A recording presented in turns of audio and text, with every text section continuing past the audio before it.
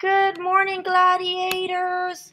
Welcome, welcome, welcome. It is Thursday. Let's see, October 15th. Believe that's what it says. All right, here we go. We are going to sign in to first grading period, August 24th through October 16th. We are clicking on the pretty pink folder and it is Thursday, October 15th. I had that right. Okay, so we're actually going to continue our instruction on cultural diffusion. All right, so for today, you're going to watch the video on cultural diffusion, and then we're going to go over something. So we're really going to talk about why cultural diffusion is so important. Why is it that things that happen in a certain country, how is it that it gets here so quickly?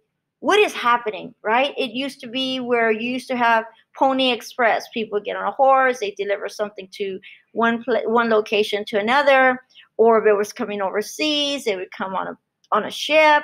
Things have changed drastically, right? We've had a big drastic change in the way cultural diffusion has occurred through the years, especially now.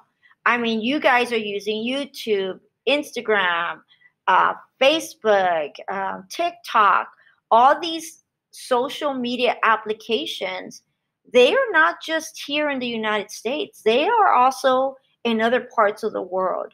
I would be, uh, I would. I would hope that maybe you could look up people by country and see who comes up just out of curiosity. But cultural diffusion is the spread of ideas through technology, right? Through skills, movies, music, language, food, everything is all part of cultural diffusion. If we look at these slides here, I'm not going to go through them, but I'll, uh, I'm not going to open them, but look at them. You have tacos, you have a Asian group, you have Harry Potter, Mario's Brothers, you have, um, I'm thinking that's Disneyland. Yeah, Disney World. So we're going to go through those today and kind of think about why these things are happening. How do they occur? How do they spread so quickly? Okay. In the spreading of a culture's beliefs and practices and items around the world, right? Culture spreads through war, through travel, through technology, through trade. We're going to go through that today. Try to figure out how is it that these things wrap get to one location and people pick them up so quickly. Again, like TikTok, right? Why is TikTok so popular? Maybe it's dying out a little bit, but last year it was huge, and the year before it was huge. Everybody was using TikTok. Well, all the young kids were, right? Then COVID happened. Suddenly, the older kids, the older people are using them now. What might be positive and negative effects of cultural diffusion on the world? Maybe things are going too fast. Wars, right? Wars may be a negative effect. So we're going to go through these. So positive effects is a cross-cultural understanding. The negative effect is the loss of unique cultures. People, we we talked a little bit about refugees, right? How people are moving or leaving their countries from push factors, right? And these cultures are moving, they're leaving their country, but they are also coming to other countries. That would be cross-cultural, right? But then you have those countries that are losing that culture cooperation between nations. So the spread of harmful ideas, uh, items, and ideas. Yeah, we have we're able to cooperate and work with each other from nation to nation. But are those things that are coming to our country are they positive? Is it something that is benefiting the Americans?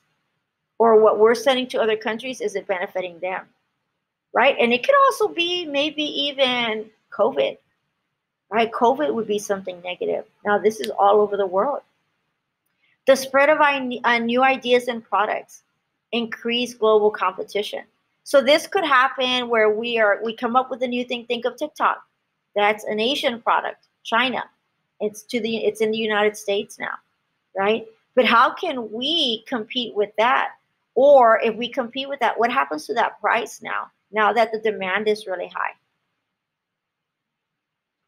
McDonald's. McDonald's. We'll know that we all learned yesterday that McDonald's is worldwide. It's everywhere. Now, the golden arches are the same, but the menus are not. They may have the McDonald's fries in some countries, but yesterday we learned about the McPuff, right? The McVeggie. So there, there's no Big Mac. We have different types of menus in different parts of the countries, but they have a McDonald's. So we're going to analyze these photos today to try to figure out what is so different about Ronald here. Why does Ronald look so different in various parts of the world? Okay. All right, that is what we're doing today. So maybe you could watch this video. It's going to be a fun lesson. As I mentioned yesterday, cultural diffusion is my favorite part of social studies. Then when you get done, you will then click on the assignment. You go to Thursday, and you're going to take this assessment on cultural diffusion. Okay, I will open it. and you have some questions.